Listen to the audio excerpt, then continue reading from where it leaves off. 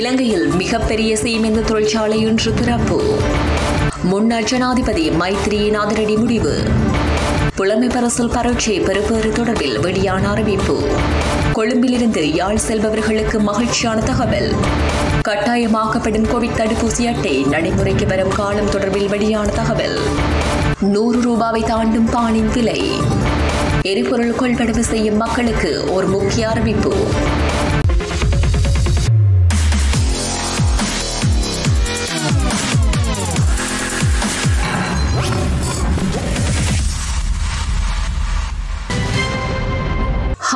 ஹம்பாந்தோட்டை மிருஜிலவியல் ஏற்றுமதிக்கு பதப்படுத்தும் வலயத்தில் அறுபத்தி மூன்று ஏக்கர் நிலப்பரப்பில் நிர்மாணிக்கப்படவுள்ள உலகின் தலைசிறந்த இருபது சீமெந்த தொழிற்சாலைகளில் ஒன்றாக அமையவுள்ள புதிய தொழிற்சாலை இன்று திறந்து வைக்கப்படவுள்ளது.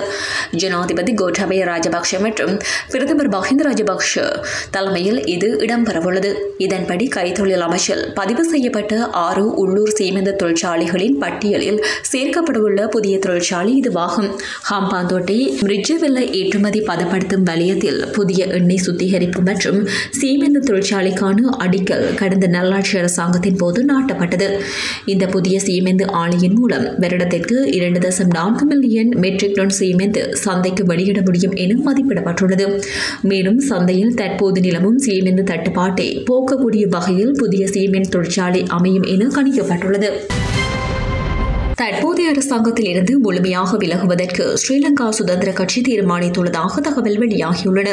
இந்த தீர்மானம் கட்சியின் தொகுதி அமைப்பாளர்களால் ஏகமனதாக எடுக்கப்பட்டுள்ளதாக கூறப்படுகின்றது.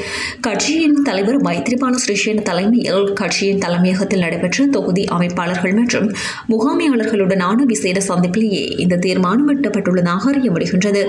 தற்போதைய அரசியல் பிரச்சினைக்கு மத்தியில் எடுக்கப்பட வேண்டிய நடவடிக்கை என்ன? என கூட்டத்தில் மைத்ரி வினாவிய போது அங்கிருந்தவர்கள் அரசாங்கத்திலிருந்து விலக வேண்டும் என கூறியதாக தெரிய வருகின்றது.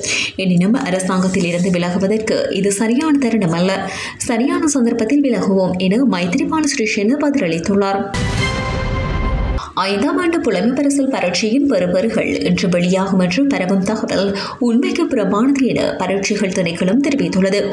கடந்த ஜனவரி மாதம் நடைபெற்ற இரண்டாயிரத்தி இருபத்தி ஓராம் ஆண்டுக்கான ஐந்தாம் ஆண்டு புலமை பரிசல் பரீட்சையின் விரைவில் வெளியிடப்படும் என பிரதி பரீட்சைகள் ஆணையாளர் பிரணவாசதான் தெரிவித்துள்ளார். எனினும் இன்றைய தினம் அது வெளியிடப்படும் என்ற தகவலில் உண்மையில்லை எனவும் அவர் குறிப்பிட்டுள்ளார்.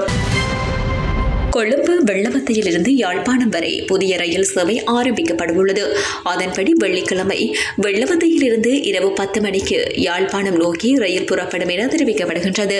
யாழ்ப்பாணம் ரயில் நிலையத்திலிருந்து மீண்டும் ஞாயிற்றுக்கிழமை இரவு பத்து மணிக்கு புறப்பட்டு அதிகாலை ஐந்து மணிக்கு கோட்டை ரயில் நிலையத்தை சென்றடையும் என கூறப்படுகின்றது.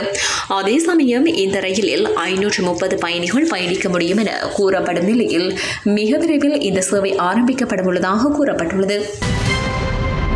எதிர்வரும் ஏப்ரல் மாதம் முப்பதாம் தேதி முதல் பொது இடங்களில் முழுமையான தடுப்பூசி செலுத்தப்பட்டமைக்கான அட்டையை கைவசம் வைத்திருத்தல் அவசியமாகும் என சுகாதார சபைகள் பணிப்பாளர் நாயகம் அசீல குணவர்த்தன தெரிவித்துள்ளார். எதிர்வரும் ஏப்ரல் மாதம் முப்பதாம் தேதிக்கு முன்னர் கோவிட் நைன்டீன் செயலோக்கி தடுப்பூசியை பெற்றுக் கொள்ளுமாறு சுகாதார அமைச்சு மீண்டும் பொதுமக்களுக்கு அறிவிப்பு விடுத்துள்ளது. இதேவேளை கோவிட் நைன்டீன் மரணங்களுக்கு அரசாங்கத்தினூடாக வழங்கப்பட்ட போக்குவரத்து செயற்பாடுகள் கைவிடப்பட்டுள்ளதாகவும் அவர் தெரிவித்துள்ளார். பானின் விலை நூறு ரூபாவை தாண்டும் என அறிவிக்கப்பட்டுள்ளது.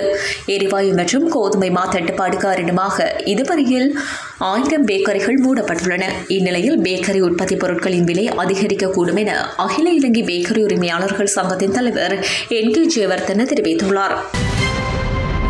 கப்பல்களில் கொண்டுவரப்பட்டுள்ள எரிபொருளை இறக்கும் பணிகள் தற்சமயம் இடம்பெறுவதாக இலங்கை பெட்ரோலிய கூட்டுத்தாபனத்தின் தலைவர் சுமித் விஜயசிங்க தெரிவித்துள்ளார். இதனால் நீண்ட வரிசையில் காத்திருந்து எரிபொருளை பெற்றுக்கொள்வதற்கான தேவை இல்லை என அவர் மக்களுக்கு அறிவித்துள்ளார்.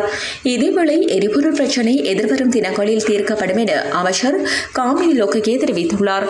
அதே சமயம் எரிபொருள் மற்றும் மின்கட்டணத்தை அதிகரிப்பது தொடர்பில் இதுவரை எந்த தீர்மானமும் மேற்கொள்ளப்படவில்லை என்று அமைச்சர் கூறியுள்ளார்.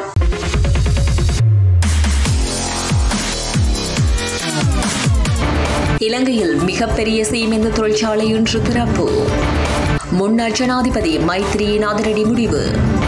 புலமை பரசல் பரட்சி பெறுபேறு தொடர்பில் வெளியான அறிவிப்பு.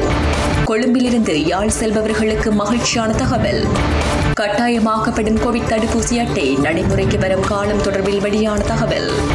நூறு ரூபாவை தாண்டும் பானின் விலை.